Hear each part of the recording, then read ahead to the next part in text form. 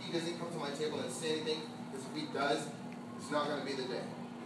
How many of you have experienced that before? Now, when you sit down in that classroom and you say, please do not say anything to the teacher. Please, please, please do not say anything. And as soon as you open your eyes and you blink, the teacher right in front of your face. What's the matter with you, son? What's the matter with you, young lady? Y'all experienced that before? Yes. You know why? Let's give him a round of applause. but seriously, do you know why that actually happens? You know why? Because you speak it into existence. That's why. Whatever you speak, whether it be negative or positive, it will come to pass.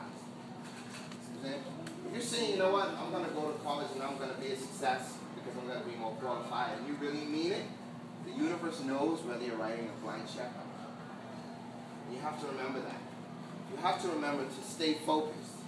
If you want to own that clothing store, start working to get it done now. Because you do need the proper business model for whatever it is that you want to do. If you want to be a garbage collector, by the way, they make a lot of money. You got to put the proper business model in place to ensure that that happens. Now, anyone has any questions? No one has any questions? Really? Good. So I feel like answering it. Just kidding. Come on. Have a sense of humor.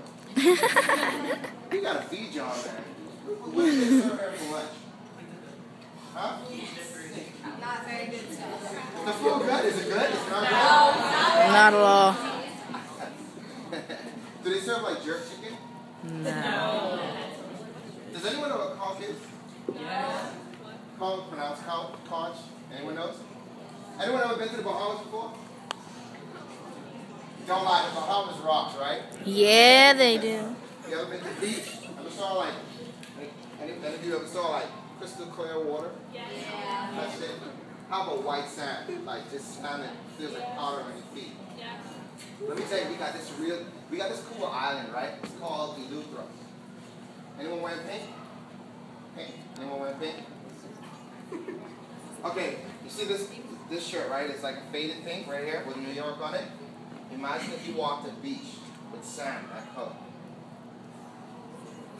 No lie, it's in the Bahamas. It's like, like the water, right? It isn't even deep. Like you can walk straight out to the ocean for miles, and the sand is like pink. You know what I mean?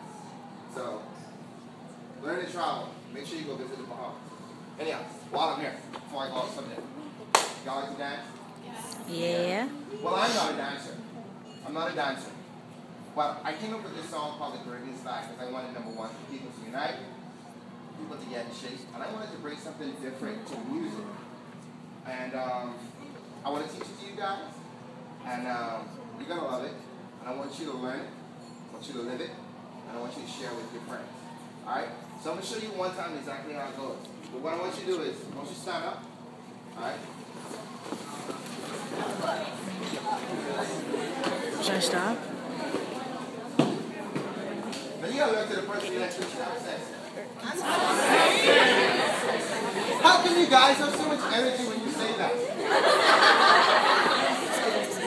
Alright, so here's what I'm gonna do. Y'all remember my name, right? Y'all remember my name? Yeah, If you gotta look at the paper to remember my name, Julien, I'm sexy. who's that guy? The detective. Let's give him a round of applause.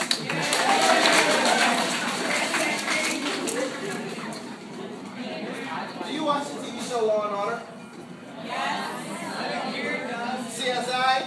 Yes. Seaside. Miami, New York, or Vegas? Vegas. Vegas. Vegas?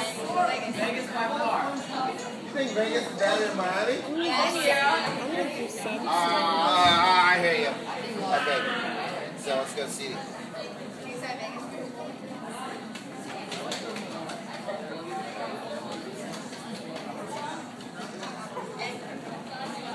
Anyone using YouTube?